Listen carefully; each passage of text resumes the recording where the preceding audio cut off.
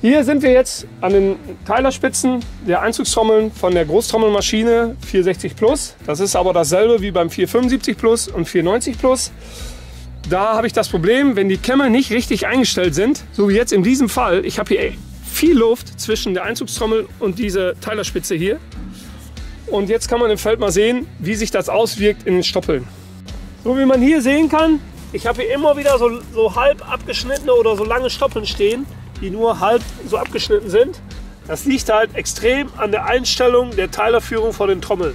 So, der Abstand von den Teilerspitzen zu den Einzugstrommeln sollte man immer prüfen an diesen breiten Aufsätzen hier von den Teilerspitzen.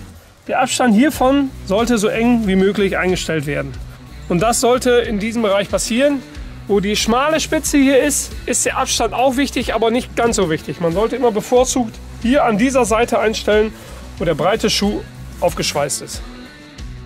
Um die Teilerspitzen näher ranzustellen, löse ich diese drei Schrauben.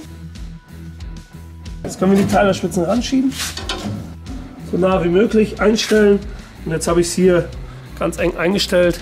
Wenn ich die so eng wie möglich eingestellt habe, drehe ich die Trommel durch, so nah wie möglich ran, nur die ganze Breite einstellen und danach die Schrauben wieder fixieren. So, jetzt hier kann man sehen, dass das Stoppelbild wirklich sehr gut abgeschnitten ist und ein exaktes Bild darstellt.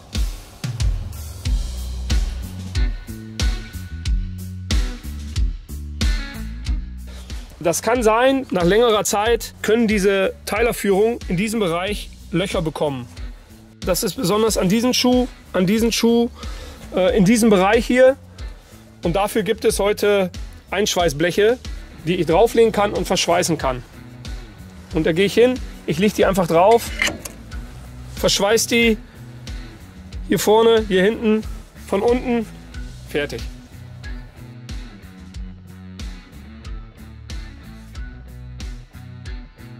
So, hier sind wir im Bereich von den Teilerführungen, hier unten an dem Vierkantrohr. Und hier ist eine Stelle, wo auch Löcher entstehen können nach einiger Zeit. Hier und auf der anderen Seite hier.